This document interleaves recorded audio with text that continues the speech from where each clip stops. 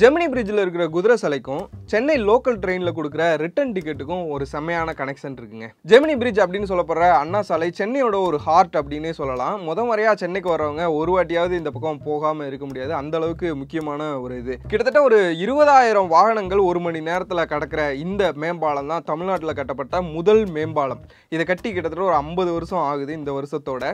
இந்த பாலத்தோட வரலாறு என்ன? முக்கியமாக அங்கே இருக்கிற குதிரை சிலையோட வரலாறு என்ன? தெரிஞ்சுக்கலாம் வாங்க. சென்னை மவுண்ட் ரோடு அப்படின்னு சொல்லப்படுற அண்ணா சாலை வந்து கிட்டத்தட்ட ஒரு நானூறு வருஷ பழமையானது. செயின்ட் ஜார்ஜ் கோட்டையிலேருந்து கிண்டி வரைக்கும் கிட்டத்தட்ட ஒரு பதினஞ்சு கிலோமீட்டர் இருக்கும். இந்த ரோடு வந்து அவ்வளோ முக்கியமான ரோடு. அப்போவே அது வந்து அவ்வளோ டிராஃபிக்காக இருக்கும். நான் சொல்கிறது எப்படின்னா ஆயிரத்தி தொள்ளாயிரத்தி அறுபது எழுபது காலத்துலேயே அவ்வளோ டிராஃபிக்காக இருக்கும். ஆயிரத்தி தொள்ளாயிரத்தி அறுபத்தி ஒன்பதாவது வருஷம் அண்ணா இறந்து கலைஞர் முதல்வர் ஆகியிருக்காரு அப்போ வந்து இந்த இடத்துல வந்து ஒரு பாலம் கட்டலாம். அப்போ தான் இந்த டிராஃபிக் ஏதாவது ஒரு தீர்வு கிடைக்கும் அப்படின்னு சொல்லி முடிவு பண்ணுறாங்க இந்த மேம்பாலம்ன்ற கான்செப்டே வந்து பார்த்தீங்கன்னா அப்போ இந்தியாவிலே ரெண்டே ரெண்டு இடத்துல தான் இருந்துச்சு. ரெண்டுமே மும்பையில் இருந்தது.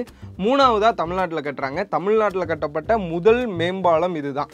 அப்போவே வந்து பார்த்தீங்கன்னா அறுபத்தி ஆறு லட்ச ரூபா பட்ஜெட் ஒதுக்குறாங்க. கிட்டத்தட்ட இதை கட்டி முடிக்கிறதுக்கு வந்து இருபத்தி ஒரு மாதம் ஆகுது. அப்படி தான் இந்த மேம்பாலம் வந்து உருவாகுது. இந்த பிரிட்ஜுக்கு வந்து பார்த்தீங்கன்னா மறைந்த முதல்வர் அண்ணா நினைவாக வந்து அண்ணா மேம்பாலம் அப்படின்னு பேர் வச்சாங்க. ஆனாலுமே மக்கள் எல்லாம் என்ன கூப்பிட்டாங்கன்னு பார்த்தீங்கன்னா ஜெமினி பிரிட்ஜ் அப்படின்னு தான் கூப்பிட்டாங்க. ஏன் இது ஜெமினி பிரிட்ஜ் அப்படின்னு கூப்பிட்டாங்க பார்த்தீங்கன்னா அந்த பாலம் கட்டப்பட்ட இடம் இருக்கு இல்லையா அது வந்து ஜெமினி ஸ்டுடியோஸ் முன்னாடி படங்கள்லாம் தயாரித்த ஜெமினி ஸ்டுடியோஸ் இருந்த இடம். அந்த இடத்தையே வந்து மக்கள் வந்து ஜெமினி சர்க்கிள் அப்படின்னு தான் சொல்லுவாங்க. அந்த இடத்துல கட்டினதுனால மக்கள் வந்து டிஃபால்ட்டாக இதை வந்து ஜெமினி பிரிட்ஜ் ஜெமினி பிரிட்ஜ்னு கூப்பிட ஆரம்பிச்சிட்டாங்க. ஸோ அப்படி தான் இந்த பேர் வந்துச்சு. ஆயிரத்தி தொள்ளாயிரத்தி எழுபத்தி ஒன்றாவது வருஷம் ஜூலை ஒன்றாம் தேதி இந்த பாலத்தை வந்து மக்கள் பயன்பாட்டுக்காக திறக்கிறாங்க. அப்போவே வந்து பார்த்தீங்கன்னா ஒரு மணி நேரத்துக்கு ஒன்பதாயிரம் வாகனங்கள் வந்து போயிட்டு இருந்துச்சு. எப்போது ஆயிரத்தி தொள்ளாயிரத்தி எழுபதுலேயே ரெண்டாயிரத்தி பத்தில் கணக்கு பண்ணப்போ கிட்டத்தட்ட ஒரு பதினாறாயிரம் வாகனங்கள் போயிட்டு இருந்தது. இப்போ வந்து பார்த்தீங்கன்னா ஒரு மணி நேரத்துக்கு இருபதாயிரம் வாகனங்கள் இந்த ஜெமினி பிரிட்ஜாக கிடக்குது. சரி இந்த ஜெமினி பிரிட்ஜ் பக்கத்துலேயே வந்து பார்த்தீங்கன்னா ஒரு குதிரை சிலை ஒன்று இருக்கும். ரெண்டு பக்கமும். ஒரு குதிரையை வந்து ஒருத்தன் பிடிச்சி நிற்கிற மாதிரியான ஒரு சிலை இருக்கும். அந்த சிலையை வந்து நீங்கள் பார்த்துருக்கலாம்.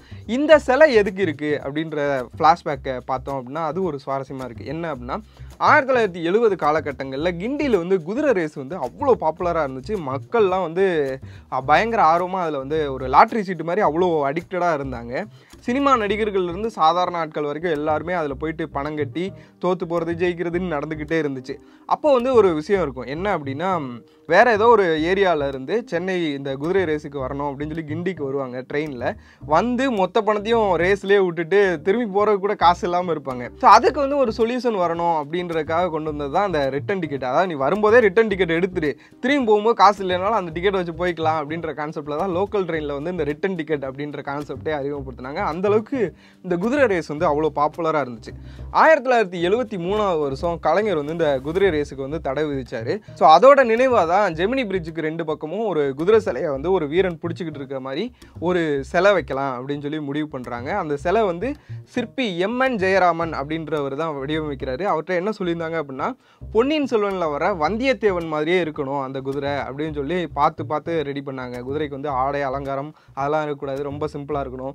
அந்த இளைஞன் வந்து பார்த்தா வந்தியத்தேவன் லுக்கில் இருக்கணுன்ற மாதிரிலாம் பார்த்து பார்த்து கட்டினதா அந்த சிலை. அப்படியே இன்னொரு விஷயம் என்ன அப்படின்னா அந்த ஜெமினி பிரிட்ஜில் ஏறி இப்படி நீங்கள் சுற்றி வந்தீங்கன்னா ஒரு பெரியார் சிலை ஒன்று இருக்கும். அந்த சிலைக்கும் ஒரு பயங்கரமான விஷயம் இருக்குது என்ன அப்படின்னா இந்த மவுண்ட் ரோட்லேயே வந்து ரெண்டு இடத்துல பெரியார் சிலை இருக்கும். ஒன்று வந்து சிம்சன் அதாவது ஹிந்து ஆஃபீஸ்க்கு நம்ம அந்த புதிய தலைமைச் செயலகம் கலைஞர் கட்டினார் இல்லையா? அதுக்கு ஆப்போசிட்டில் ஒரு பெரியார் சிலை இருக்கும். இன்னொரு பெரியார் சிலை வந்து இந்த ஜெமினி பிரிட்ஜு கிட்ட இருக்கும். இதில் வந்து ஒரு சுவாரஸ்யம் என்ன அப்படின்னா அதிமுக காரங்க அதாவது ஜெயலலிதாவில் தொடங்கி எடப்பாடி ஓபிஎஸ் வரைக்கும் México இந்த ஜெமினி பிரிட்ஜில் இருக்கிற பெரியார் சிலைக்கு தான் மாலை போடுவாங்க. ஏதோ பெரியார் நினைவு நாளோ பிறந்த நாளோ வந்தால் அதே மாதிரி திமுக காரங்க கலைஞரோ இப்போ இருக்கிற ஸ்டாலினோ சரி அந்த சிம்சன் பக்கத்தில் இருக்கிற பெரியார் சிலைக்கு தான் மாலை போடுவாங்க. இது எதனால அப்படின்னு பார்த்தீங்கன்னா அந்த சிம்சன் பக்கத்தில் இருக்கிற பெரியார் சிலை வந்து கலைஞரால் வைக்கப்பட்டது. இந்த ஜெமினி பக்கத்தில் இருக்கிற பெரியார் சிலை வந்து எம்ஜிஆரால் வைக்கப்பட்டது. ஸோ ஒரே தலைவர் தான். ஆனால் ரெண்டு பேரும் வேற வேற இடத்துல மாலை போட்டு மரியாதை பண்ணுவாங்க. இந்த வருஷத்தோட அண்ணா மேம்பாலம் ஜெமினி பிரிட்ஜ் கட்டி ஐம்பது வருஷம் ஆகுது. பொன்விழா கொண்டாடுது இந்த வருஷம். ஸோ சென்னையில் இருக்கிறவங்க இந்த ஜெமினி பிரிட்ஜை வச்சு உங்களுக்கு ஏதாவது சுவாரஸ்யமான மெமரி இருந்துச்சு அப்படின்னா அதை வந்து ஷேர் பண்ணுங்கள் மற்ற ஊரில் இருக்கிறவங்க உங்கள் ஊரில் இது மாதிரி எந்த பாலம் ஃபேமஸ் அப்படின்றத வந்து கமெண்ட்டில் சொல்லுங்கள் ஸோ இந்த மாதிரி நிறைய வீடியோ நீங்கள் பார்க்கணும் அப்படின்னா தமிழ்நாடு நோ சேனலை வந்து மறக்காமல் சோஷியல் மீடியாவில் ஃபாலோ பண்ணுங்கள் யூடியூப்பில் வந்து தமிழ்நாடு நோ ட்ரெண்ட்ஸ் அப்படிங்கிற சேனலை மறக்காமல் சப்ஸ்கிரைப் பண்ணுங்கள்